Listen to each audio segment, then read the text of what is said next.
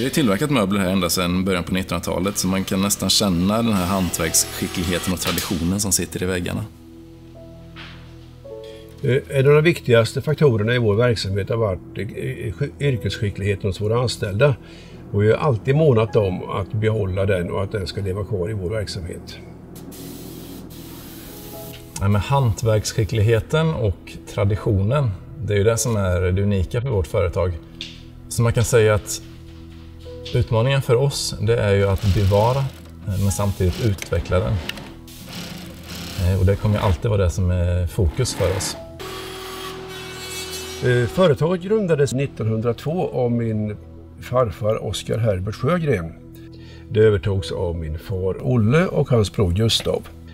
Jag själv har drivit företaget mellan 1972 till 2005 då det övertogs av mina söner Håkan och Jakob.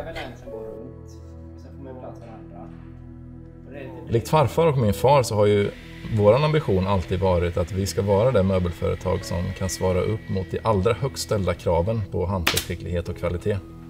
Och det händer att vi, att vi renoverar om möbler här som är tillverkade på 30-talet. Och då kan det ju vara möbler som är tillverkade av, eh, ja, men av farfar eller kanske, kanske ett farfars far till och med.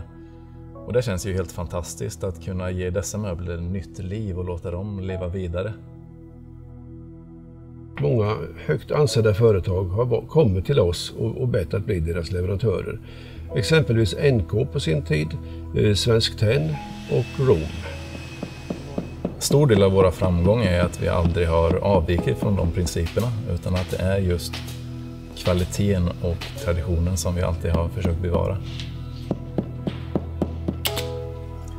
Den största milstolpen i företagets historia det är väl 1956 när Carl Malmsten bestämde sig för att eh, tillverka sina möbler hos oss.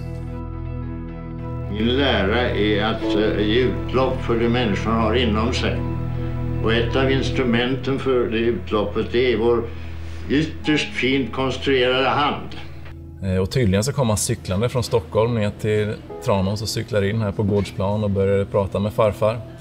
Och efter att ha gått runt här och tittat på tillverkningen så eh, kunde han konstatera att eh, O. Sjögren i Tranås, de var minsann värdiga att få tillverka hans stoppmöbler.